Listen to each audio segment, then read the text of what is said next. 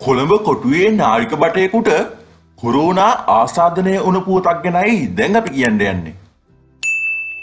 හොඳයි නව කොරෝනා වෛරසය ආසාධනය වූ රෝගියෙක් වාර්තාවීමත් සමඟ කොළඹ කොටුව ප්‍රදේශය පිහිටි ගෆෝර් ගොඩනැගිල්ල සහ එහි සිටි දෙසීයකට ආසන්න ආරක්ෂකාංශ සාමාජිකයන් සම්පූර්ණයෙන්ම හුදකලා කොට තිබෙනවා.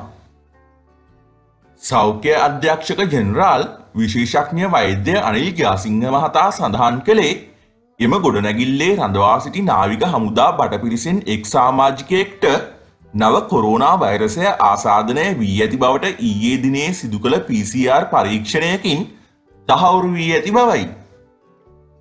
ඒ අනුව එම ගොඩනැගිල්ලේ සිටි දෙසීයකට ආසන්න නාවික හමුදා සාමාජිකයින් එහිදීම නිරෝධානයට ලක්කිරීමට අවශ්‍ය කටයුතු අරඹා ඇති බවයි සෞඛ්‍ය අධ්‍යක්ෂක ජෙනරාල්වරයා කියා සිටියේ.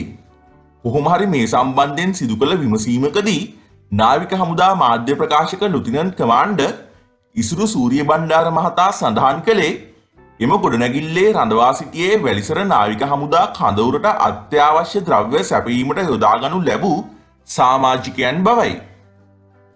ඒ වගේම හුදකලා කරනු ලැබූ වැලිසර නාවික හමුදා කඳවුර සහ එහි රෝගීන්ට ප්‍රතිකාර කරනු ලැබූ වැලිසර රෝහලේ අවශ්‍යතා සැපීම සඳහා යොදාගනු ලැබූ මෙම නාවික හමුදා බටපිරිස බාහිර සමාජය සමඟ මිශ්‍ර නොවන අයුරින් ආරක්ෂා සහිතව එම ගොඩනැගිල්ලේ රඳවා සිටින බවත් වාර්තා වෙනවා.